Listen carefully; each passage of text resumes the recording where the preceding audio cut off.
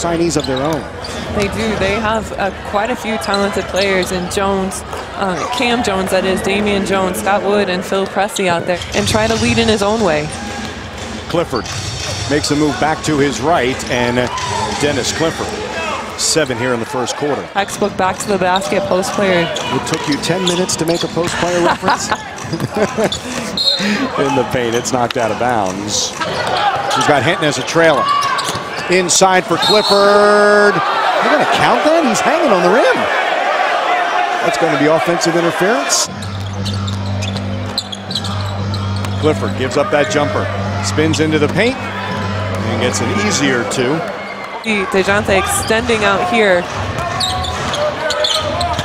Clifford to his right, has to come back to his left and scores. Out. Pressing the other way. Navigating, navigating, Clifford. Going to his left. 17 now for Dennis Clifford. GM, you also made a deal to bring Cory Jefferson. He's been a nice piece to this Austin team. When we were looking at adding players in the offseason, something came up. I had a, I had to ask RC. I had to ask RC. He said, and RC at some point finally said, Sean, I trust you. You can make that decision.